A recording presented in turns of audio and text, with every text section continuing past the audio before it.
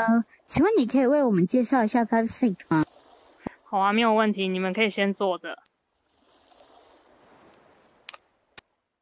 首先呢，我先打开我的功能面板。那打开这个云端档案，那云端档案内可以汇入我们平常开会会运用到的一些档案，包含 PDF、PPT 或是影片都可以。那我们现在先把 P PDF 叫出来。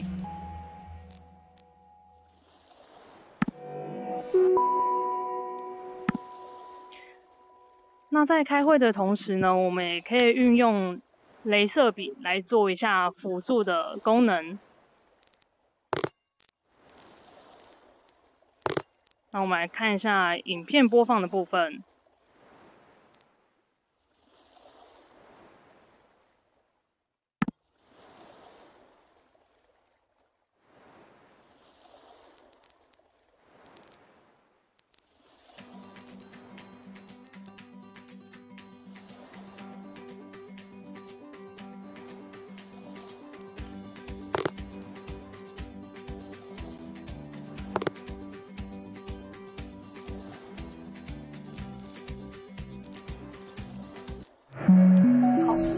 那平常我们在开发一些新产品的时候，也可以透过这个会议，在远端距离，大家可以互相讨论一下 3D 物件的部分。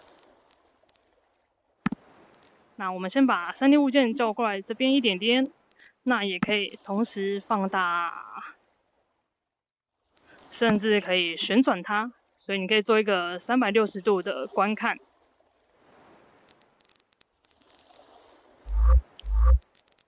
那另外，我们在讨会讨论会议的同时，也可以在旁边做一些笔记。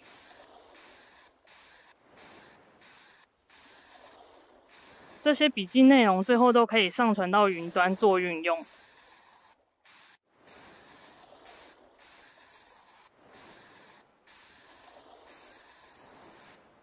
最后，我们还有一个贴心的功能，就是一个相机功能，我们可以帮我们的参与会议的人一起拍个照。哎，看这边，一、二、三。